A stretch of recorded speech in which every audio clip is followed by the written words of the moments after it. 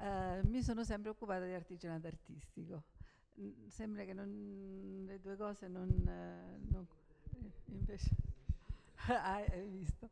Eh, invece secondo me questo fatto di aver studiato, approfondito la, la nostra storia, le nostre tradizioni, mi, mi, ha messo in grado in tutti questi anni proprio di andare incontro invece a queste, a queste realtà.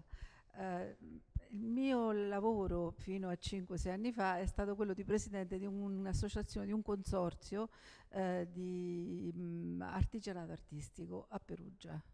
Eh, abbia, ci siamo occupati per diverso tempo di realtà artigianali importanti e anche di rivitalizzare alcuni territori.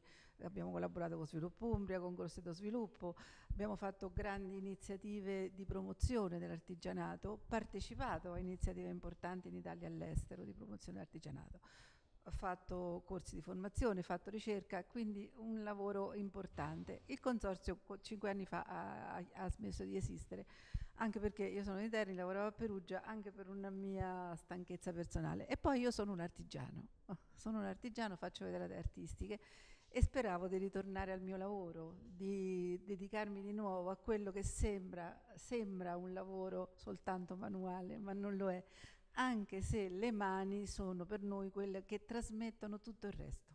E questa è l'importanza e il valore delle mani.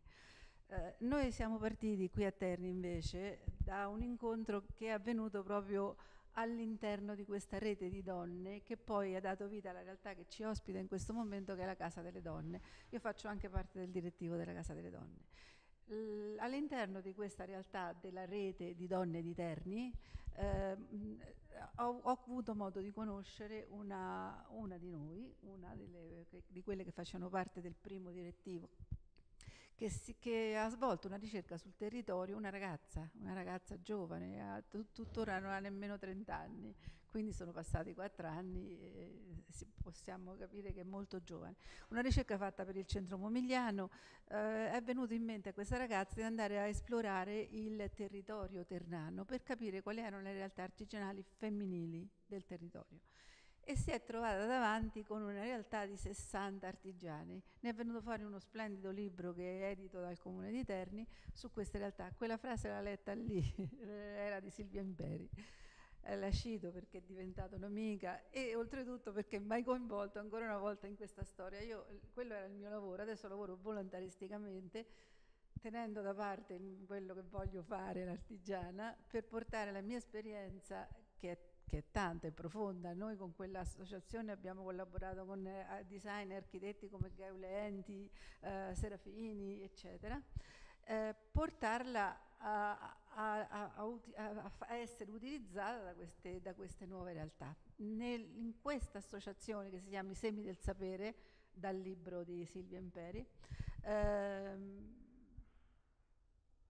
è venuto fuori una eter di, mh, di, personaggi e di eh, artigiane.